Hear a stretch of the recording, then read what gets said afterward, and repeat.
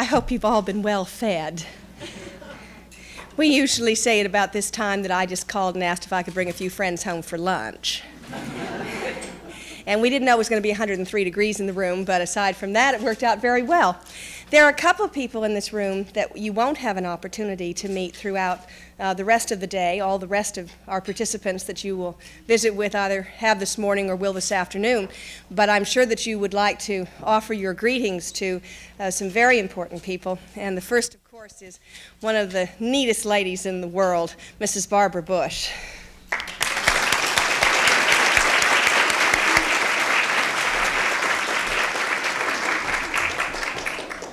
And of course, the neatest lady in this house who makes all this possible because this is her domain. And when you say luncheon in the White House, there is only one person who is responsible for that, and that is the First Lady, Nancy Reagan.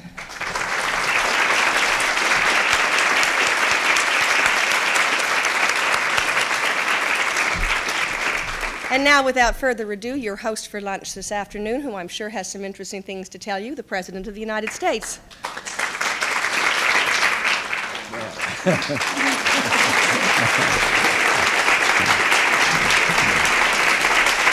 Thank you all.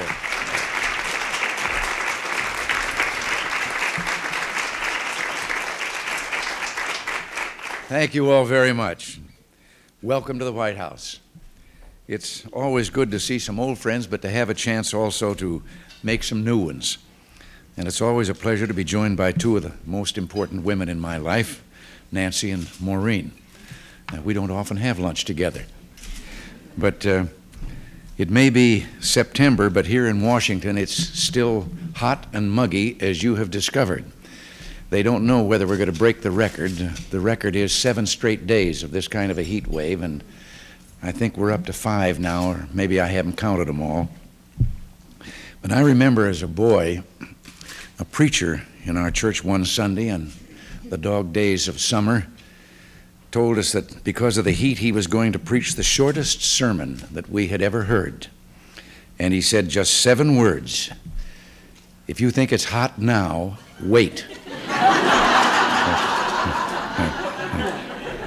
so I'm going to follow his example. I'll run a little bit over seven words, but I'll try to keep it short. I'm sure you've heard of our plan to completely overhaul the federal tax structure this is the most burning issue facing the American people, I think, in this decade. I'm going to be out on the stump all fall, bringing our case for tax fairness and economic growth to the American people and rallying their support. I'll be in many of your states, possibly many of your communities, and I'll be looking for your help because it's at the grassroots level that our tax proposal will find the energy, determination, and willpower needed to topple the status quo. Now, I used that term because every place I've been going, like yesterday to the students at North Carolina State University, I, identif- I explained status quo, that that's a Latin term for the mess we're in. and the present system is a mess. As state legislators, I'm not going to tell you about the pleadings of lobbyists. You're very familiar with that. The siren songs of special interests are heard in every legislative hall. But this time, we can work for the special interest of all the American people to create a fair and equitable tax system, one which will be a double boon to the economy because it will both close wasteful loopholes and cut tax rates. It's time for Americans to take their money out of tax shelters and invest that money in America's future. Every day we live with the present tax code, we're slowing economic growth, sacrificing jobs that could have been created, and unfairly burdening families and perpetuating an unjust system that only breeds cynicism and resentment in the American people. I was out on the road twice this week. I was in Missouri on Labor Day and yesterday at North Carolina State, as I told you, State University. And talking to those college students brought home the urgency of this issue.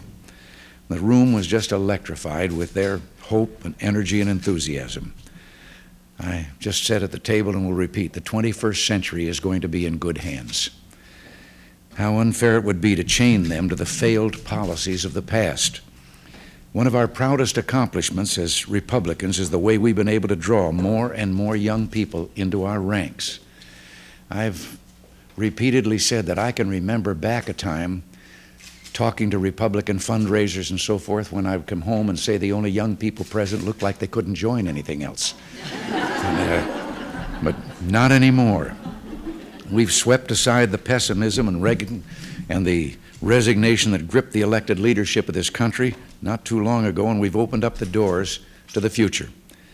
Like the American people, we Republicans believe that America is still young, still vital, and still strong. And what we've accomplished goes beyond just words. We've backed our words, I think, with decisive and dramatic action. Our 25% across the board tax reduction gave new life and substance to the American spirit of optimism. An entrepreneurial renaissance is spreading across our land.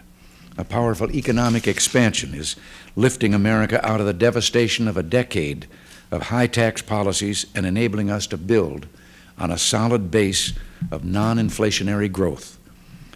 Now, here's a piece of good news you may not have heard about, but then knowing some of the people in our team that have been talking to you so far today, maybe they mentioned it.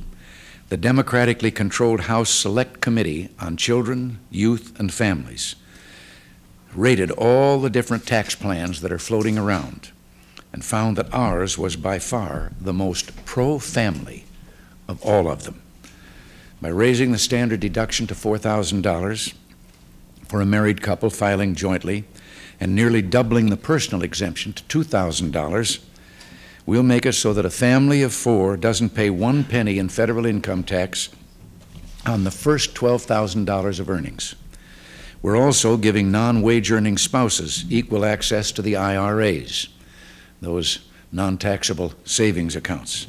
And this, coupled with the pension reform that was passed in the last Congress, will go a long way toward alleviating poverty by allowing women the means to take care of them, for, care for themselves in their retirement years. Another report may be of special interest to you as state legislators. Our proposal to eliminate the state and local tax deduction been getting a lot of flack from some quarters. I'm talking about it here at this table. Well, it turns out that the New York State government has a study by its comptroller that found that taxpayers in New York would save 588 million a year in taxes under our proposal. And that's the point. If the individual taxpayers in your states benefit, your states and localities as a whole benefit. There's no logic to fighting tax fairness, no fighting a plan that would increase economic growth, create jobs, give families a much needed break, and take the weak working poor off the tax rolls altogether. Of course, we still have a job to do in Congress getting spending under control. In that connection, on the revenue side, I'd like it known that I could immediately deposit $1.2 billion in cash in the Treasury if Congress will support this administration's decision to sell Conrail back to the private sector where it belongs and get the federal government out of the business of owning a railroad.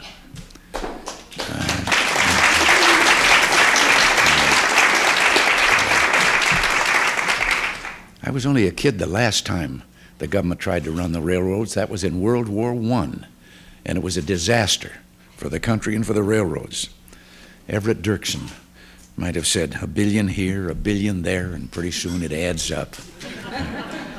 well, the some in Congress seem to think that they can proceed as usual, indiscriminately spending taxpayer dollars, and that sooner or later they'll be bailed out with a tax hike.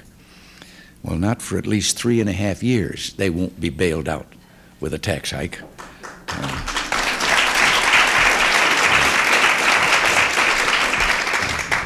using Navy terms, I'll say as many times as I have to, there will be no tax hike on my watch. We Republicans have always looked for long term solutions. And this tax plan is one of those which will be working long after we've left office. As state legislators, you know that programs closer to home are more cost efficient, better planned, and offer more assistance. But the gluttonous federal tax system has robbed you of the base for local programs. We must continue to move this wheel of government in the interest of what's right for America. And this is the time for which all of us have worked, the moment in which together we can build a partnership between the levels of government with a growing economy to give America the momentum for the next century. And with that, I'm going to say thank you and God bless you all, and we're going to eat dessert. Thank you all.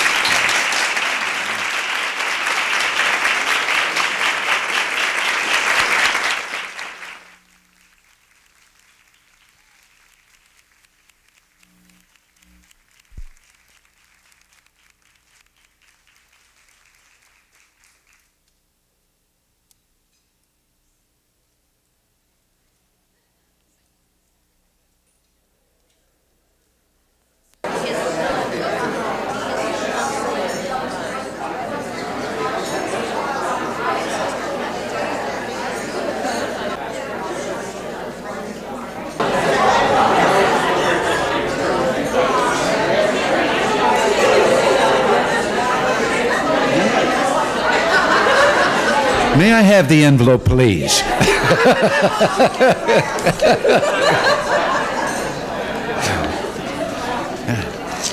I haven't done this since I was on, on the stage at the Academy Awards. Not getting an award, opening an envelope. You all understand that I've only got time for three questions, and then we're all going to have an opportunity to meet individually, which some of us are looking forward to. And uh, so three names were pulled out of a bowl for questions. And one of them is Sheila Roberge from New Hampshire. Mm. Okay. You have a question?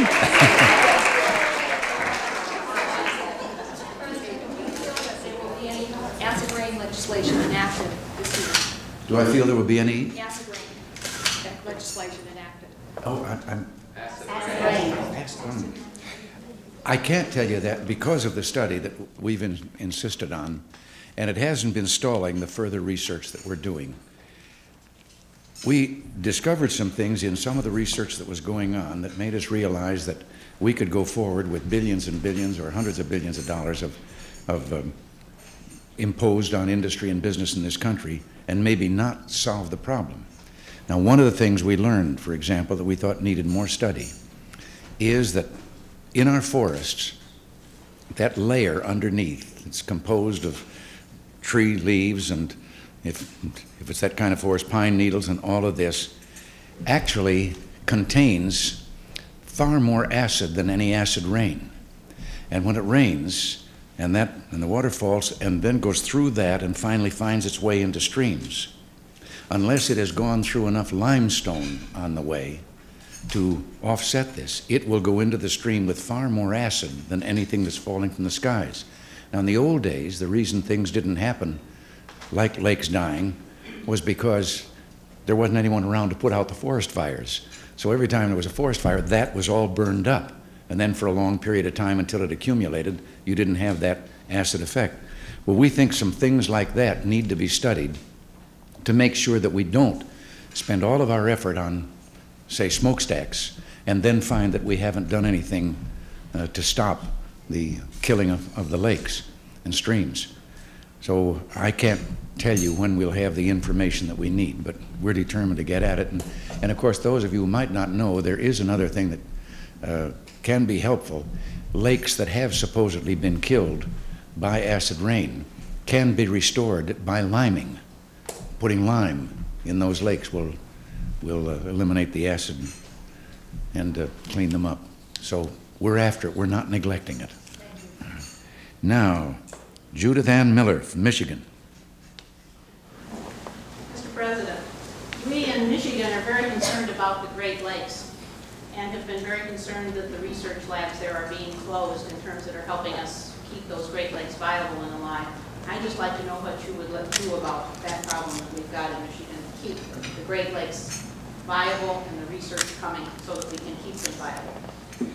Well, I can't tell you a specific right now. I don't have uh, something of that kind in mind, but I can tell you that we are determined, contrary to the information that has been uh, spread about uh, me supposedly being an enemy of environment, when I was governor of California, we started the whole thing in California about protecting the environment.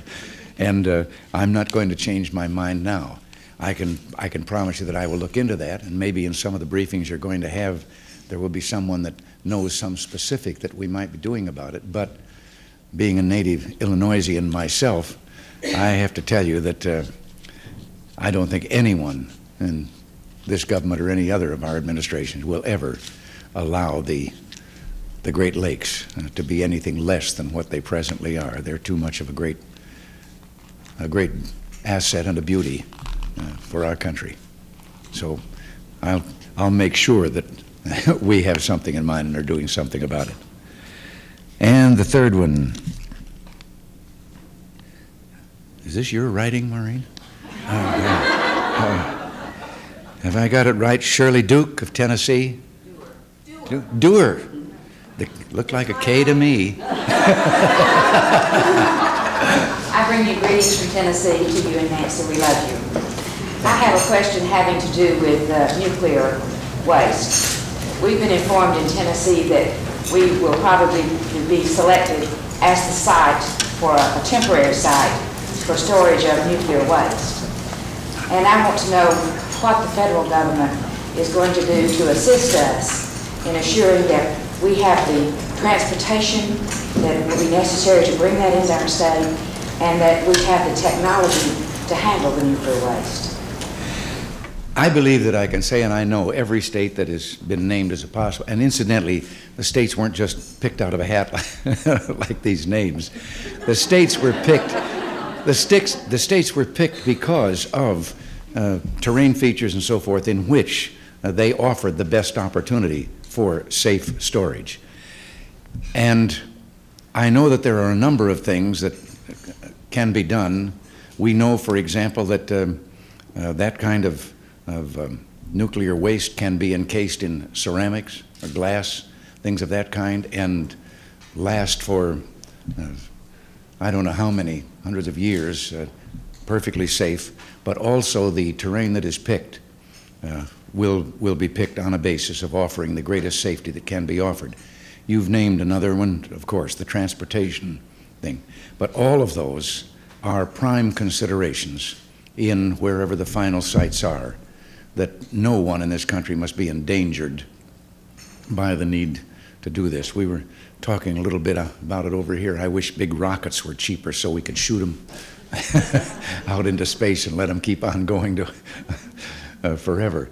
But uh, I don't think the waste is that, that dangerous. Uh, certainly, it does not offer an explosive uh, danger, as some people fear about atomic power plants or the fuel those people who have um, terrified that a, a, a, nuclear power plant could someday become a bomb, that's impossible. It cannot be. But I can, I can assure you that there won't be a decision made until we have uh, everything uh, protected. Uh, I can just tell you that some of the things I've been associated with directly are, are protection of uh, nuclear plants and nuclear weapons. We're constantly updating that with every new step in technology to make sure that they would not be subject to terrorist attacks or uh, thievery or anything of that kind. But um, it just, as I say, it will be, I'm quite sure that there won't be any, uh, any problem anyone will have about it. It's going to be easier than finding some of the uh, ashes from the coal we're burning. well. Yes, thank you. Well, we'll see you all in the next room.